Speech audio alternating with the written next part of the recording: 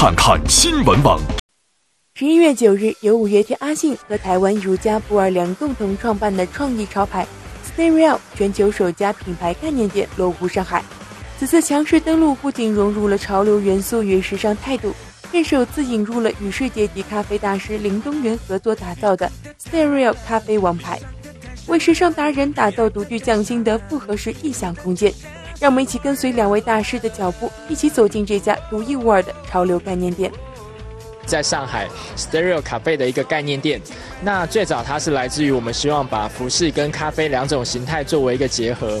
但是在这里面当然会有蛮大的挑战，是你怎么从一个服装店，在在很自然的走进一个咖啡店。所以在这个空间的规划上面，我们希望让它能是保留多多的进出口的，所以它可以从这边进去，也可以从咖啡店那边进出。那中间会有一个通道，那希望大家能够在这两种的一个不同的服务里面，能够各自去感受它不同提供出来的一些不同的商品跟跟不同的一种空间感。那大家在服装店这边会比较感觉它是一个比较明亮一些的，所以这边是带有比较多不同类型的商品的一个组。组合，所以这边会感觉上比较丰、比较比较有趣跟比较多元一点。那到了咖啡那边的话，它是稍微安静一些，而且它会光线也会稍微再暗一点。那那边希望能够呈现是大家可以在那边比较静态的去饮用一些咖啡，那跟朋友聊天，或是在那边可以做一些思考的一些一些一些活动。所以我们希望透过这个一动一静的一个组合，能够呈现一个比较有一点点对比的一个一个感受。